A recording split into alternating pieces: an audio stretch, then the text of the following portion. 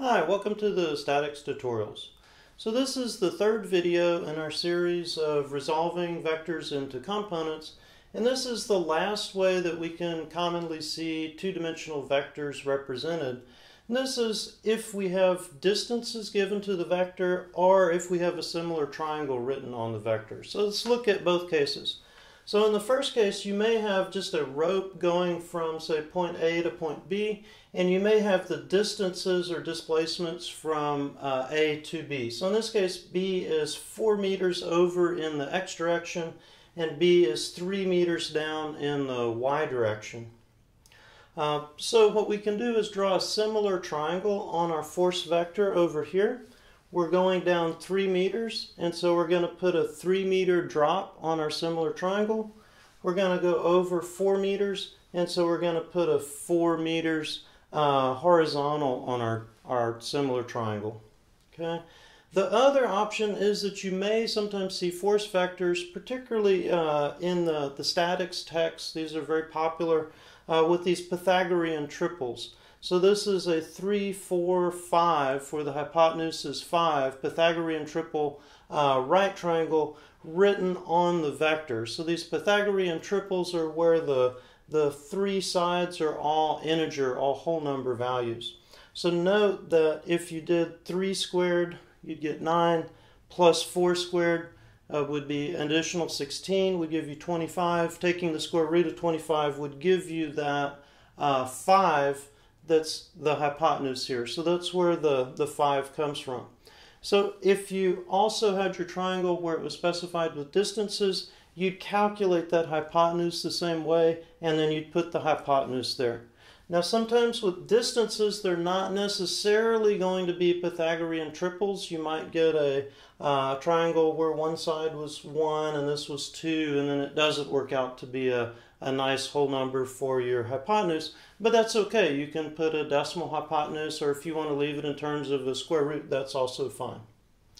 So let's look at now dividing this up once we have our similar triangle written on our vector. So we're going to do the same thing that we did before. We have our vector here. We're going to use an x component and then a y component forming a right triangle and if we added this x component and y component, we would get our original vector back. Um, we don't have an angle specified here, so I'm just going to write in a theta. Um, now, one method of doing this is you could go ahead and calculate theta. Theta would be the inverse tangent of the opposite side divided by the adjacent side. Notice that the way we have this one specified, it would be this angle here would also be theta on our similar triangle. So it would be the inverse tangent of 3 over 4, and you could get a value for that. But, and that's perfectly fine, it's just an extra step that you don't need though when you're solving the problem. So let's, let's look at how we would solve the problem without solving for theta. We can do that by saying that the x component is going to be equal to f cosine of theta. That's the same equation that we saw in the first of the, the three videos, just rearranged for fx. And then when we're thinking about cosine of theta, that would be the 4 side, which would be the adjacent side, divided by the hypotenuse, which would be the 5 side. So we can directly replace cosine of theta with this fraction 4 fifths. The other way that you may want to think about it is that if this is your x side, look at your similar triangle and see which side's parallel to x.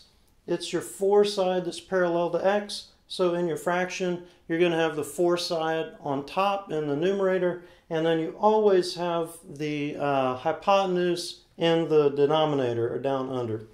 So this would be F. F is 237 newtons, so we plug that in. So Fx is 237 newtons times 4 fifths.